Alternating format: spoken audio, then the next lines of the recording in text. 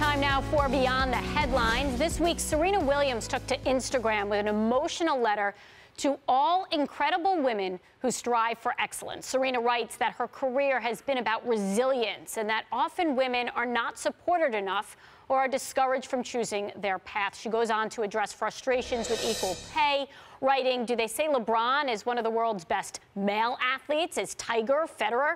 Why not? They are certainly not female. We should never let this go unchallenged. well, you got to always love. Serena is perfect to come out and speak on this, as she always does. Well, she's a world champion, and for her to be able to take this platform and use it to talk about women in general and sports and equality, it's her right. And, you know, I look at the U.S. Open, who's been paying equal prize money since 1968.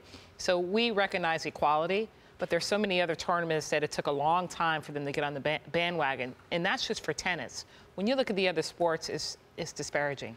It's just interesting to me that we have these conversations, and I love that Serena used her platform. She came forward to speak on the behalf of other women because she's using her voice and platform to speak for those who can't. But the fact that we constantly keep talking about women and equality, we have to all continue to band together. And I love that she put that, you know, hey, let's hang together, sisters. We got to keep fighting this fight, and the platform is great. So kudos to Serena Williams. the one thing that Serena is, above all, in my opinion, is the quintessential example of a role model.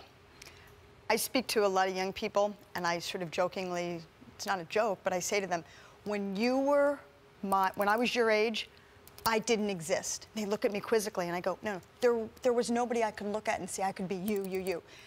How many people, not just boys, not just girls, can look at Serena Williams and say, I want to be that level of excellence. Mm -hmm. To me, it is an overused cliche, but with Serena Williams, it is the truth. She is the consummate role model. You're right, and she'll keep encouraging others to do the same, which is why she continuously does this.